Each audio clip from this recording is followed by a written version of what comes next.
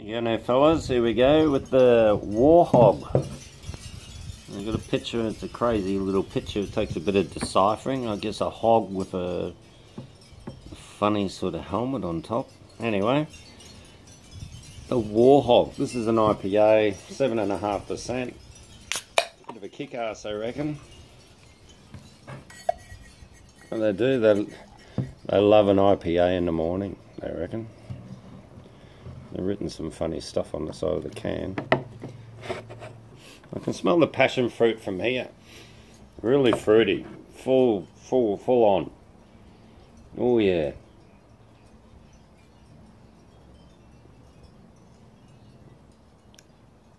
Wow. That's the bloody mouthful, I tell you. Flavours going all over the shop. I don't mind that very hoppy. There's this little bit of sour sweetness in there, so they get away with it. You couldn't have too many of them. It's a little bit on the, astringent bitter side, but it's getting away with it with the fruit, the passion fruit, the. Mm. It looks unfiltered, so it's got that much flavour, it's ridiculous. Anyway, they're not cheap. Brewed in WA, Western Australia. They've done a pretty good job with the Feral Brewing Company. They do pretty good beers. I'm pretty impressed with that again. It's sort of like one of those companies that are right out there and they're getting their flavours right. Yeah, they're combining things. The brewer must have a pretty good nose and a pretty good tongue on him. He can get the right flavours happening. I'd be a good taster, I reckon, for a brewery. I'd be fucking, they'd kill me though. They'd tell me into an alcoholic. I wouldn't like that. Plus, how many breweries make more than six beers. You'd be out of a job in a week, wouldn't you? Alright. Well, that's the war hog. I've seen a few hogs in me days. A few pogs as well. We won't go there will be nice. Uh, how about a travel story? WA? Yeah, I worked over in WA. I did um, did some work in a few shops, Thomas Cook and uh, the international duty free shops at the new well it wasn't it's not new now, but the new international airport. It was all going ahead during the America's Cup.